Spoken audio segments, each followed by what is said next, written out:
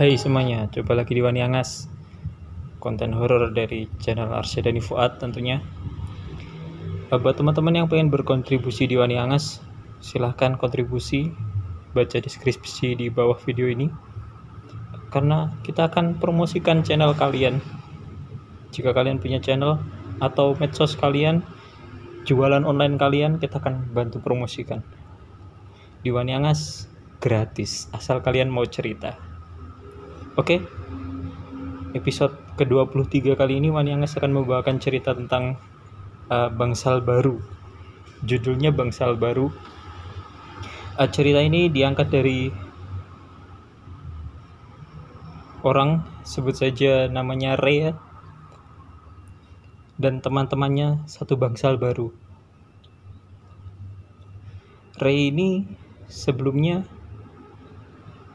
bekerja di bangsal penyakit dalam. Uh, yang jelas Ray ini bekerja di rumah sakit ya. Sebelumnya bekerja di bangsal penyakit dalam.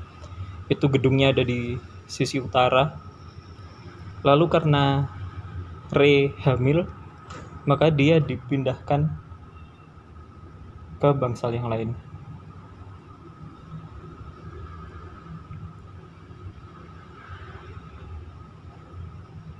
Ray yang dari bangsal penyakit dalam pindah ke bangsal tulang dengan teman-teman barunya sebut saja namanya Dea dan Pur.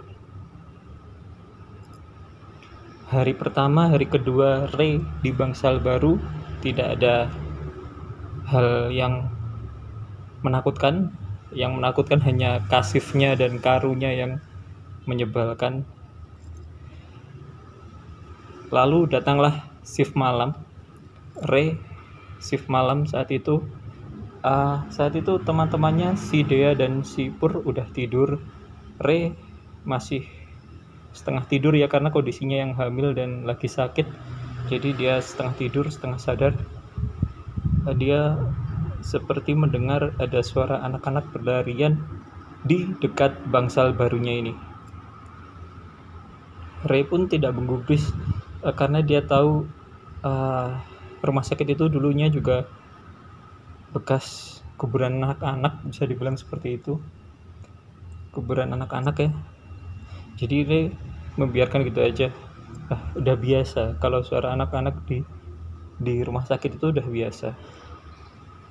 Hari berganti hari berganti akhirnya Ray menemui shift malam lagi. Kejadian ini tidak lama ya.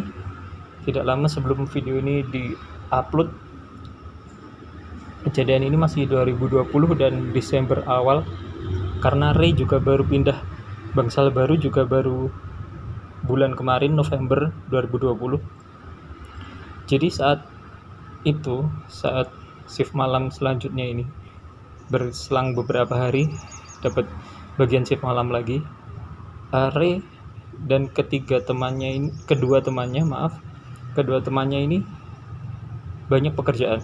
Sampai malam. Sampai malam banget kerjaan belum selesai dan akhirnya uh, kerjaan selesai itu dini hari ya sekitar jam 2 jam 3 dini hari. Nah saat itu Ray dan teman-teman sudah siap untuk tidur ya udah menata tempat tidur. Uh, ruang untuk para perawat tidur ini juga udah di diganjal ya bisa dibilang diganjal dengan kursi kayu. Karena pintu untuk ruang tidur ini hanya kayak pintu koboi. Kalau kalian tahu film-film koboi pintunya seperti itu. Nah setelah diganjal sama kursi ini kan pintu koboinya itu akhirnya mereka udah siap-siap tidur ya. Bertiga itu udah mapan tidur semua. Tapi saat setengahnya mau tidur, sudah mapan tidur. Tiba-tiba ada bunyi srek srek srek seperti kursi yang ditarik ditarik gitu. Dan akhirnya mereka bingung juga semuanya. Berdua itu si si Dea si Re dan si Pur itu bingung. Terus akhirnya si Re itu bilang sama si Dea yang kebetulan dia itu belum mapan tidur. Mbak tolong lihat no dulu apa itu? Wah aku nggak berani jawab dia seperti itu. Akhirnya dia sedikit memberanikan diri untuk mengintip mengintip tapi ternyata nggak ada apa-apa. Dan itu suaranya jelas berulang-ulang dan di dalam di dalam ruangan. Kursinya jelas ada di dalam ruangan dan suara itu ada di dalam ruangan. Berarti kan berarti bisa diartikan makhluknya yang nyeret-nyeret itu juga ada di dalam ruangan. Mereka ketakutan semua ya. Dan dia pun mengintip pun juga tidak ada apa-apa. Berkali-kali dia mencoba mengintip tapi nggak ada apa-apa. Hanya mereka ah boyak lah boyak kesel turu. Akhirnya mereka membiarkan suara itu begitu saja tidur. Mereka tinggal tidur. Dan paginya alhamdulillah tidak ada apa-apa. Dan selama tidur pun juga tidak ada gangguan apa-apa ya itulah sedikit pengalaman dari rumah sakit yang dialami oleh Ray yang sudah menceritakan ceritanya kepada Wani Angas terima kasih untuk Ray dan Ray sendiri adalah nama samaran ya Terima kasih ceritanya. Ray juga sudah pernah bercerita di sini yaitu cerita tentang kos-kosannya dahulu. Ini jadi yang belum nonton cerita Ray sebelumnya silahkan nonton dan dengarkan. Terima kasih untuk semuanya sudah mendengarkan ini Angas. Assalamualaikum warahmatullahi wabarakatuh. Like, comment, share.